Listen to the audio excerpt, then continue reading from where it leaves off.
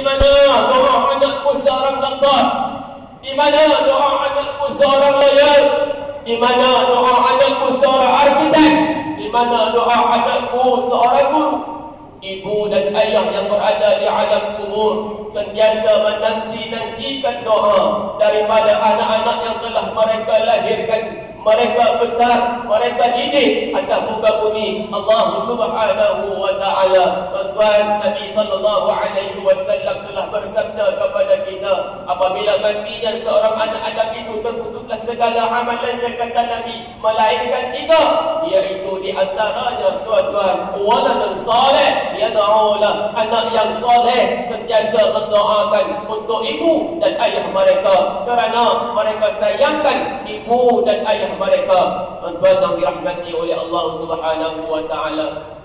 Mudah-mudahan dengan perkongsian singkat dalam khutbah pada tengah hari ini sedikit sebanyak mengetuk hati kita supaya kita imbas kembali pengorbanan ibu dan ayah kita yang telah membesarkan kita, mendidik kita, korbankan segala apa yang mereka ingini demi untuk kita. Bagaimana kita hari ini jika dulu mereka inginkan sesuatu, mereka korbankan sebab apa? Untuk anak-anak. Tapi hari ini kita sebagai anak-anak, tak kala mana ibu kita, telefon kita, minta bantuan daripada kita.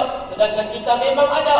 Adakah kita utamakan permintaan ibu kita, ayah kita ataupun kita lebih utamakan keinginan kita tuan-tuan yang dirahmati Allah Subhanahu wa taala. Saya mengajak diri saya dan juga tuan-tuan untuk sama-sama kita muhasabah, kita menilai balik di mana kedudukan kita hari ini. Adakah kita ini benar-benar boleh menjadi anak yang soleh, anak yang solehah? Nauzubillah minasyaitanir rajim. Qaf wal Qur'anil Majid. Bal 'alimu an ja'ahum munzirun minhum. فقال الكافرون هذا شيء عجيب. أإذا متنا وكنا ترابا ذلك رجع بعيد. بارك الله لي ولكم في القرآن العظيم ونفعني وإياكم بما فيه من الآيات والذكر الحكيم. وتقبل مني ومنكم تلاوته إنه هو السميع العليم. أقول قولي هذا وأستغفر الله العظيم لي ولكم. ولسائر المسلمين والمسلمات والمؤمنين والمؤمنات الأحياء منهم والأموات فاستغفروه إنه هو الغفور الرحيم. اللهم صل على محمد. اللهم صل على سيدنا ومولانا محمد اللهم صل على سيدنا ونبينا وحبيبنا وشفيعنا وزهرنا ومولانا محمد.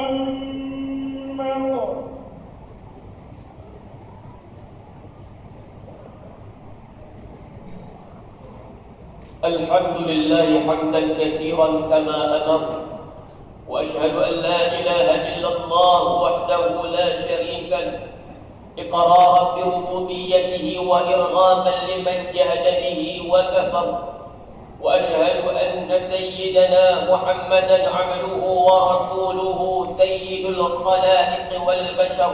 اللهم صل وسلم وبارك على سيدنا محمد وعلى آله وأصحابه مصابيح الغرام أما بعد فيا عباد الله اتقوا الله اتقوا الله تعالى فيما أمر وانتهوا عما نهاكم عنه وزجر قوم مسلمين sedang Jumaat yang dirahmati oleh wa taala Bertakwalah kepada Allah Subhanahu wa taala dan sedarilah bahawa kehidupan kita di atas muka bumi Allah Subhanahu wa taala ini adalah suatu kehidupan yang hanya saja bersifat sementara sahaja. Boleh jadi bila-bila masa kita akan dijemput pulang kembali kepada Allah Subhanahu wa taala. Ramai di antara kita ketika mana Allah menjemput mereka balik kepada Allah Subhanahu wa taala memang mereka tidak tahu bilakah ajal mereka tuan-tuan. Boleh jadi ajal kita dalam rumah Allah Subhanahu wa taala pada hari ini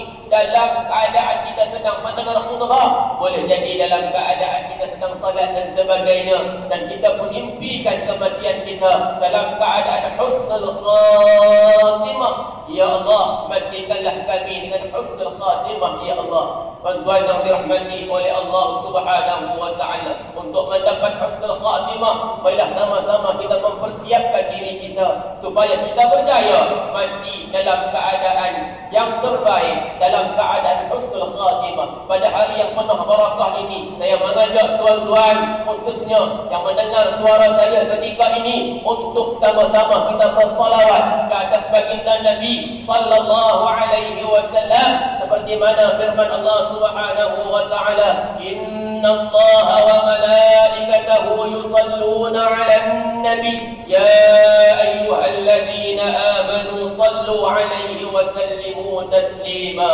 marilah sama-sama kita buka mulut kita gerakkan bibir kita untuk bersalawat ke atas baginda Nabi sallallahu alaihi wasallam Allahumma salli ala sayyidina Muhammad wa ala ali sayyidina Muhammad اللهم اغفر للمسلمين والمسلمات والمؤمنين والمؤمنات الأحياء منهم والأموات إنك سميع قريب مجيب الدعوات وقاضي الحاجات. اللهم أصلح أئمتنا وولاة أمورنا وأيد اللهم بالتوفيق والهداية. مولانا سريف لك بكنا يوم pertuan agung وكذلك مولانا terutama Tun Dr. Haji Abdul Rahman bin Haji Abbas yang dipertua negeri Pulau Pinang. Allahumma izzal Islam wal muslimin. Allahumma izzal Islam wal muslimin wa adill asyrak wal musyrikin wa dammir a'da